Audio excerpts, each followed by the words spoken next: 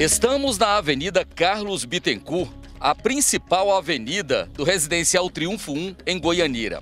Essa avenida liga o bairro à GO 070, rodovia que dá acesso a Goianira e à cidade de Inhumas. A avenida está cheia de buracos. Em praticamente todas as quadras, a gente vê imagens como essas. Muitos buracos e com o período de chuva a água fica acumulada. Os buracos se transformam em verdadeiras armadilhas para os motoristas e motociclistas. Se a avenida principal está ruim, as avenidas internas ficam ainda piores. Vamos entrar aqui é, em uma dessas ruas aqui, ó, para a gente ver como é que é. Os moradores têm mandado, inclusive a gente vai ver aí fotos e vídeos é, da situação de algumas ruas aqui na região, onde em vários locais os moradores estão convivendo com muitos problemas.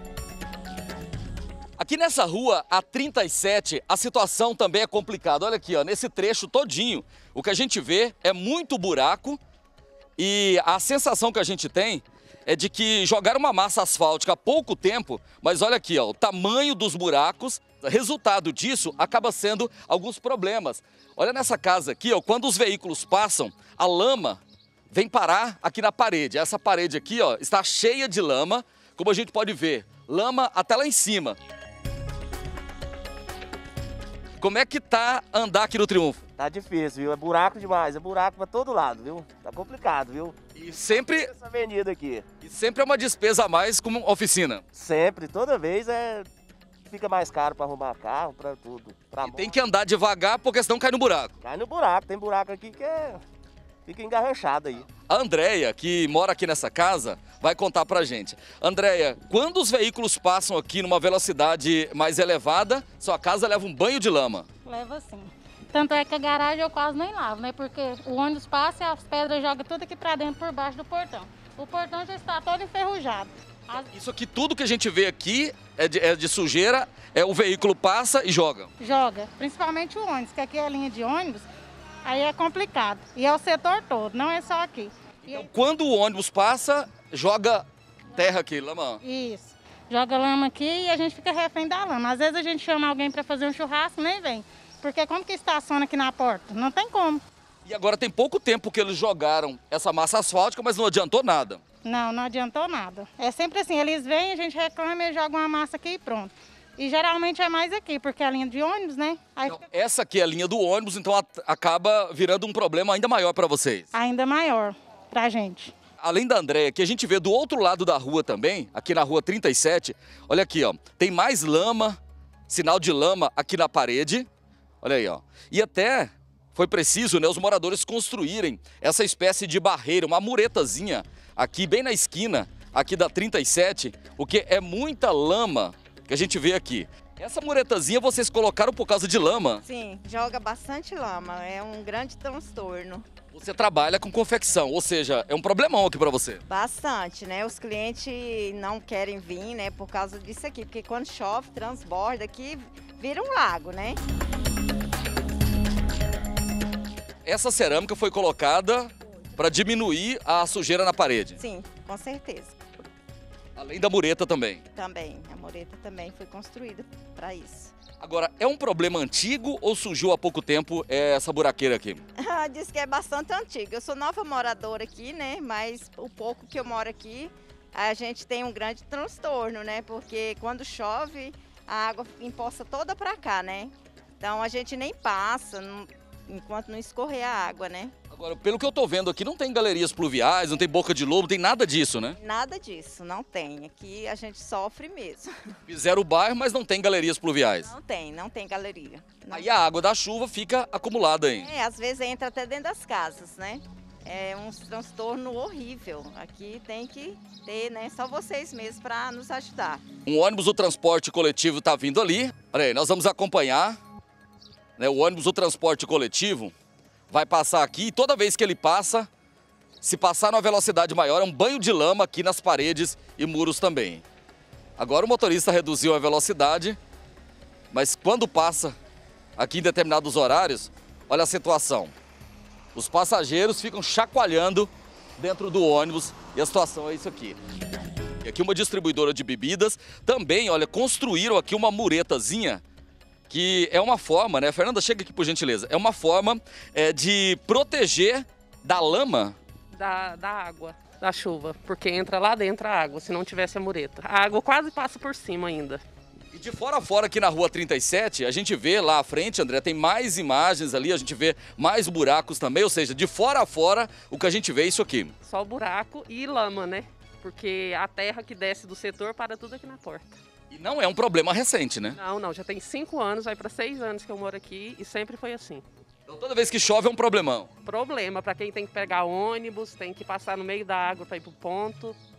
É desse jeito, todos os anos. Se não fizer galerias pluviais aqui, não vai resolver nada, né? Vai, não vai. Porque a água da chuva, ela precisa de ir para algum lugar, né? Com certeza. Infelizmente, vindo para cá. E para tudo aqui na nossa porta. Como é que é passar com carrinho de bebê nesse lamaçal aqui? É horrível. A gente chega- sempre chega num estabelecimento que a gente tem que ir, a gente fica sem graça de entrar, né? Os pés tudo cheios de lama, carrinho tudo cheio de lama. Ontem mesmo meu esposo foi lavado de lama. Então, seu esposo levou um banho de lama. Isso, E verdade. aqui eu vi que a senhora estava passando rápido, porque se não passava um carro, Verdade, joga lama. Tem uns que respeitam, outros não, né? Os moradores aqui da rua 37 sofrem ainda mais porque a rua fica numa parte mais baixa. Quando chove, né, como não tem galerias pluviais aqui no setor, a água da chuva vem parar aqui nessa rua. Inclusive, os moradores têm vídeos aí, né, mostrando a, essa parte aqui da rua totalmente tomada pela água. E aqui, ó, nessa outra parte, nessa outra rua também, olha aqui, é, tem asfalto, mas dá a impressão que nem tem asfalto aqui. Água acumulada, lama, isso é um risco também, inclusive, né, no caso de dengue e outras doenças aí. A terra, olha a quantidade de terra que vem parar aqui, né, por causa da chuva, né? Desce a água da chuva é, da parte alta do bairro e vem parar aqui. A dona Adalina, que mora bem aqui na esquina, ela também sofre as consequências é, desse problema aqui. Quando chove, a água passa por baixo do portão. Bar do portão. E na hora, que, na hora que você vai reclamar, não tem pra quem você reclamar. Não tem aqui pra quem você reclamar. Choveu, você já fica esperando o pior aqui. Choveu, a gente já espera o pior, porque só o pior que acontece aqui. Se um vizinho lavar roupa lá em cima e descer direto, não tem tempo, a água tá ali parada. Os vizinhos lavam roupa, a água desce aqui, desce lá, desce pra tu quanto é banda. Precisa de construir galerias pluviais aqui. Precisa, precisa ter e não tem uma. Tem nenhuma boca de lobo aqui? Nenhuma. Nenhuma.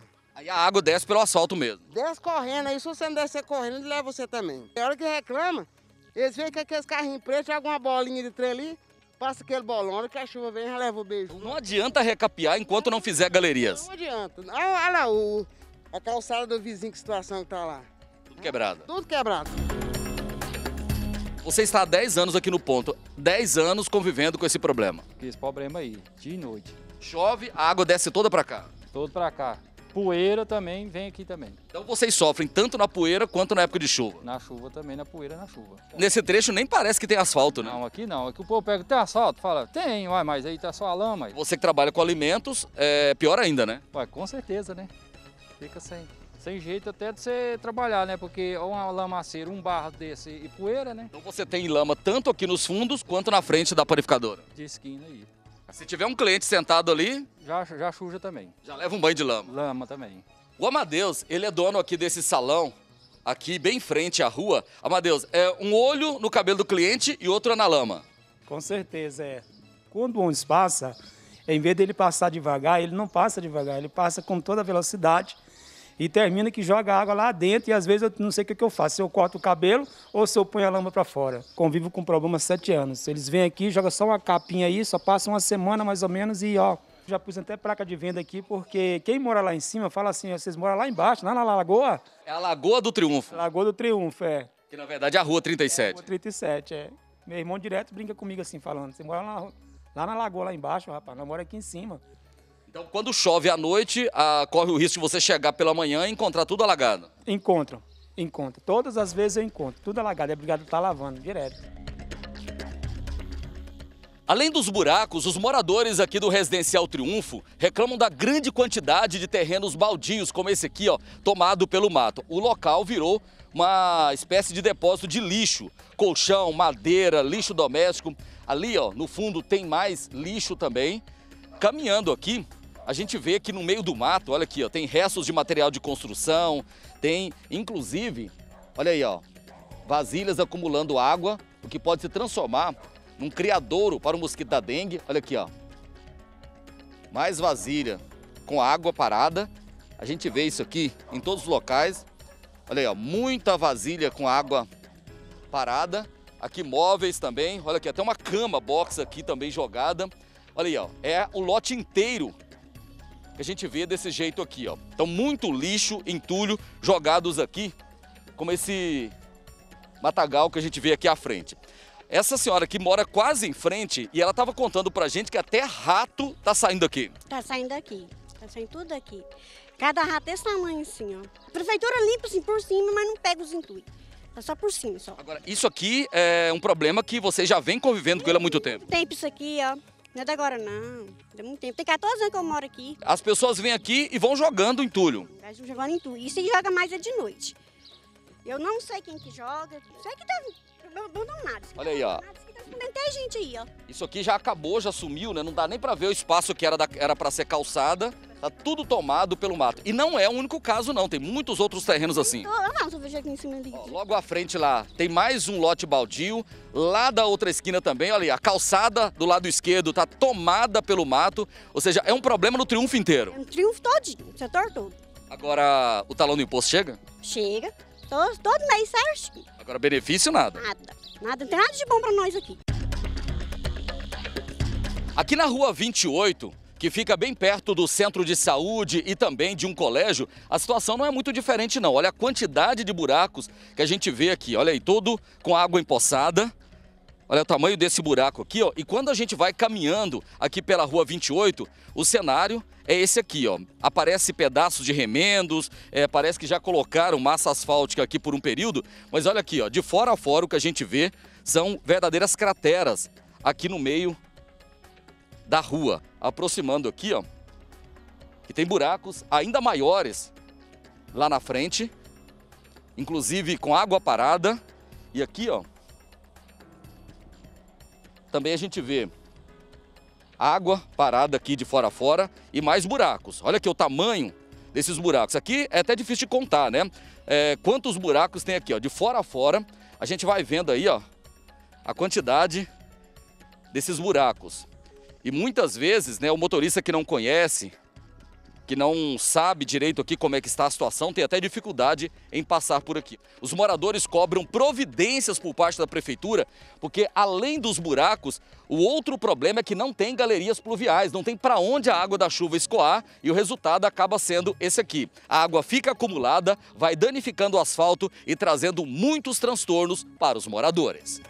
A gente está aí, né? É, esperar que o amanhã seja melhor. Tomara que seja, né? Tomara que Deus abençoe.